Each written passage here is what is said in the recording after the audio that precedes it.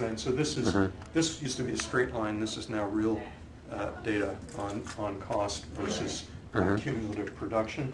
And here's, here's a projection forward at the same uh, learning curve. But, but the point is relevant to what you're saying.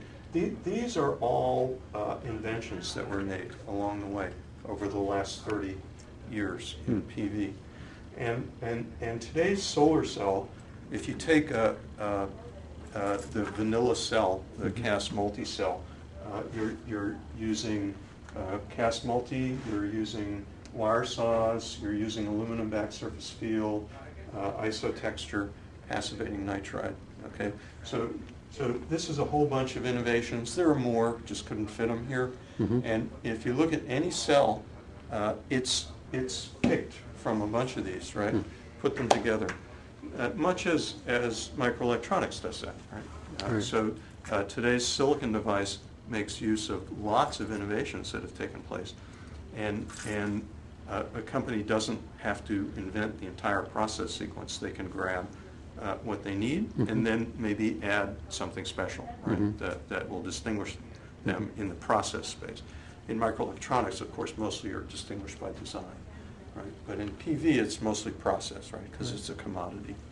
So, uh, so is each one of these uh, an increment, or, or is each one of these? A breakthrough. A breakthrough? Yeah.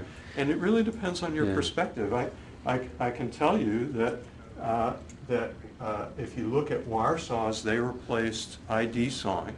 Mm -hmm. Um, It's, it's the same basic idea of, of grit uh, grinding its way through silicon. But, you know, it's a totally different uh, concept for how to do it and dramatically different results in terms of how much material you lose and, and the cost and the yield losses and stuff like that. Mhm. So it's perfectly valid to call it a breakthrough, Yeah. right? It's not a breakthrough in the same sense that the invention of the transistor uh, uh, uh, by Shockley and, and the others uh, was a breakthrough. It, it, but this is a breakthrough in terms of uh, scale of production, right? And that's what PV is about, right? Because you have to cover huge portions of the Earth's surface, right? So, Mhm. so the so the breakthroughs, uh, of course, you can have a breakthrough that you invent a new material, right? So Mhm. you you were asking, I don't think we were on camera, what, what do you think about work that tries to to invent a new semiconductor material for photovoltaics? where it's, it's predicated on looking at only stuff that's abundant uh, Mhm. uh, in, in the Earth's crust. Great, that's, a- that would be a breakthrough, right? But these are breakthroughs too. These are breakthroughs in manufacturing and production. Right. But when And in this country, we're not so accustomed to thinking of those as breakthroughs, right? Right, Other parts right. of the world have a very different view, because they understand where the money is made. Right. Well, here, here's where my confusion comes in. I see these charts. I see this hitting coal down here in, uh, what is this, 2018 or something like Yeah. that. Mhm. And uh, then I hear Steven Chu saying, Well, the most important thing is it, it breaks into natural to gas. natural gas. Sooner, right, a lot sooner. But anyway, yeah. yeah. But then I hear Steven Chu saying we need fundamental breakthroughs In in PV. PV. Yeah, we- And we heard that same slide. I'm, I'm, uh, I'm hoping to get a meeting with him to explain to him.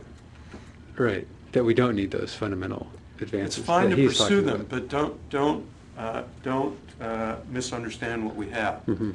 And, Right. and, and uh, the, the other aspect is that uh, once we get to this point, uh, we need another breakthrough, which is in storage technology. right? in terms of th- that point, in terms of how much we're using. Well, because of intermittency. So thi- Right. at this point, you're at seven percent of global generation, so you can still do that without storage by shipping it around. Uh, If it's not needed where you make it, somebody else will need it at that time.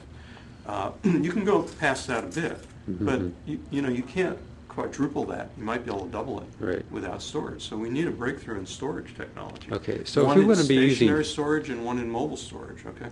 So, you know, if, we- if we, if we have a horse that, that, that can go the distance here, and the materials are unquestionably abundant, as, uh, uh, uh, then maybe we should be thinking about what we're gonna need not so far off in the future, and focus our breakthrough energy there.